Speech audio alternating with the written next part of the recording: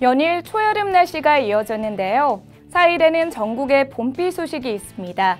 남부지방 예상 강수량은 5에서 20mm가 되겠고요. 비가 내리면서 기온은 뚝 떨어지겠습니다. 낮 기온 부산 16도, 대구 12도로 예년보다 쌀쌀해지겠습니다. 그럼 부산항의 선박 운항지수입니다.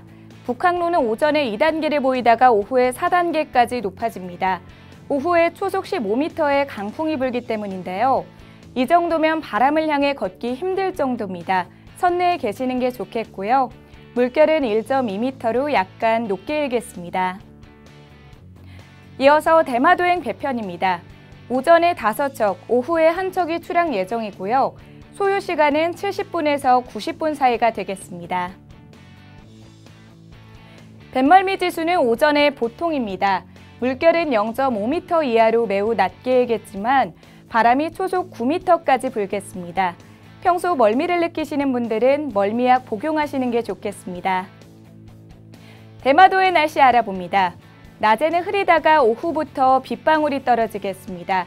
예상 강수량은 1mm 정도로 비의 양은 많지 않겠습니다. 낮 최고 기온은 19도로 예상되고요. 바람은 약간 강하게 불겠습니다.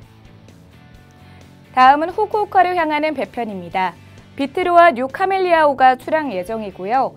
그중 비틀호가 오전 8시 30분에 가장 먼저 떠납니다. 뉴 카멜리아호의 뱃멀미 지수는 좋음입니다. 잔잔한 물결과 산들바람이 예상되는데요. 멀미 걱정은 크게 안 하셔도 되겠습니다.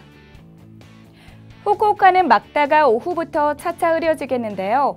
낮 기온은 23도까지 오르겠습니다.